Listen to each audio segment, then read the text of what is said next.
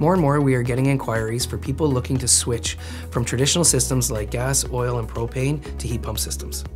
When meeting with a client to explain how cold climate heat pumps work, I describe it as it's an air conditioner working backwards that takes the heat from the outside and uses it to warm the house. Existing furnaces are between 80 to 95% efficient, whereas a cold climate heat pump system uses 100% of the energy. For every kilowatt hour of electricity, heat pump extracts about 1.5 to 4 times that amount of heat from the outside. Our house is a 1932 house. Uh, it has 1,800 square feet of floor space with two floors and a finished basement.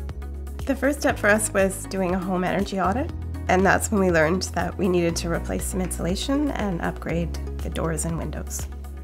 We realized that space heating was our home's largest greenhouse gas emitter, and we wanted to reduce our carbon impact by, by reducing our home's energy load. Some customers are worried that heat pumps can't keep up with Canadian cold winters. There's a misconception that because traditional furnaces burn hotter, that they provide better heat. Modern cold climate heat pump systems can reliably heat your home even when external temps are minus 28 to minus 29 degrees Celsius with minimal drop off. As we look at decarbonizing and moving away from fossil fuels, we will see a lot more people turning to heat pump systems. Our furnace was 17 years old and 17,000 BTU. It was starting to act up, and our one and a half ton air conditioner was also getting old. As well as reducing our greenhouse gas impact, this was an opportunity to bring down our utility bills and be proactive about replacing equipment before it failed.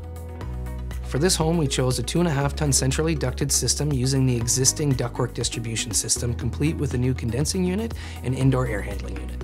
We generally allot two days for the installation. Installation times will be reduced even more going forward as the systems become more mainstream. We recommend some backup heat or supplementary heat for the days that we drop below minus 30. In this case, we chose a 15 kilowatt electric duct heater that kicks in on the coldest of days.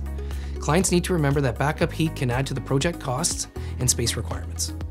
In order to meet the energy demands of the cool climate heat pump, we needed to upgrade our electrical panel from 100 to 200 amps.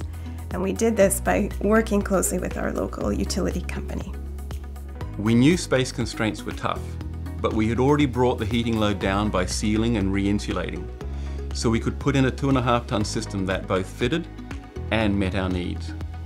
Heat pump retrofits can be expensive, especially a cold climate air source heat pump system, and it's tough to make a decision to throw out existing equipment. As energy costs continue to rise, the economics of a heat pump begin to make sense in an all-electric solution. In addition, incentive programs are bringing costs closer to parity. We have an even temperature distribution throughout the home, uh, and we found it to be really quiet, even on the nights when it's minus 30. It's way more efficient. Our hydro bills have gone down in the summer. But most importantly for us, in the first full year of operation, we've reduced our carbon dioxide emissions by one and a half tons. We can show cost comparisons from customers that demonstrate that hydro bills have not increased significantly.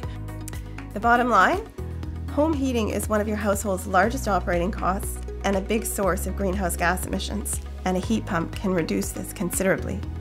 We suggest that you do your homework and find the right qualified contractor to do the work. A properly designed and installed cold climate air source heat pump can provide your family with years of comfort and reliability.